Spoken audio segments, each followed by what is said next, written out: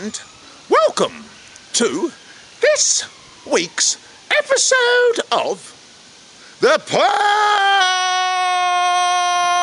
Innocent Channel and what it's like to really be an actor in Great Britain. Well, last week we described what it's like to mimic instead of acting. Two very different things.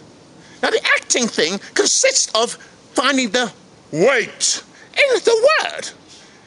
Every single word you say has a different weight attached to it.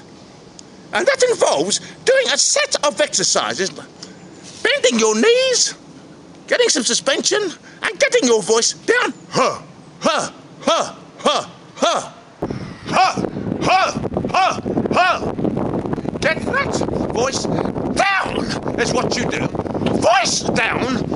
Find the weight of the word. Once you've done that, every single word will colour itself differently, and you're there. What is the weight of the word? I hear you ask. The weight of the word is what expresses the true meaning of the word.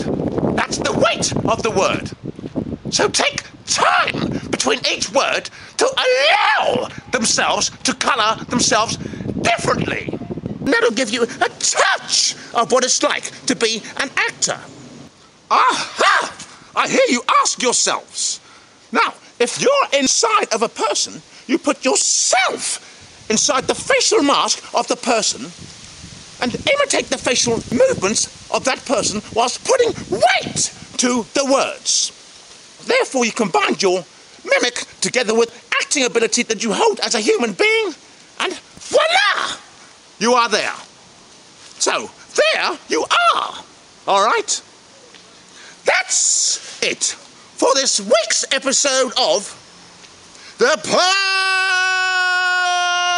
Innocent Channel and what it's like to really be an actor in Great Britain.